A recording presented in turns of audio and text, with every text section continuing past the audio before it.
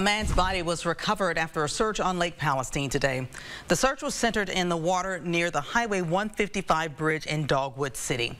Authorities were called to the area just after 8 a.m. this morning after a boat was found crashed in a different part of the lake. East Texas Weekend's J.D. Conti has more. Smith County authorities took to the water today searching for an unidentified missing person after a boat was found crashed on the shores of Lake Palestine this morning. KLTV received the tip around 10 a.m. Upon arrival, Noonday Fire could be seen searching an area by boat near Dogwood City by a pier of the Highway 155 bridge. Authorities were prodding the area looking for clues. The Smith County Fire Department and Sheriff's Office later taped off the search area.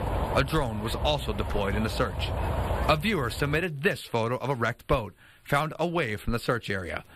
Later this afternoon, a spokesperson for the Smith County Sheriff's Office confirmed a man's body was found, saying he was ejected from the boat after hitting a pillar under the bridge. His name has not yet been released by authorities. J.D. Conti, East Texas Weekend. The Texas Parks and Wildlife Department is leading this investigation.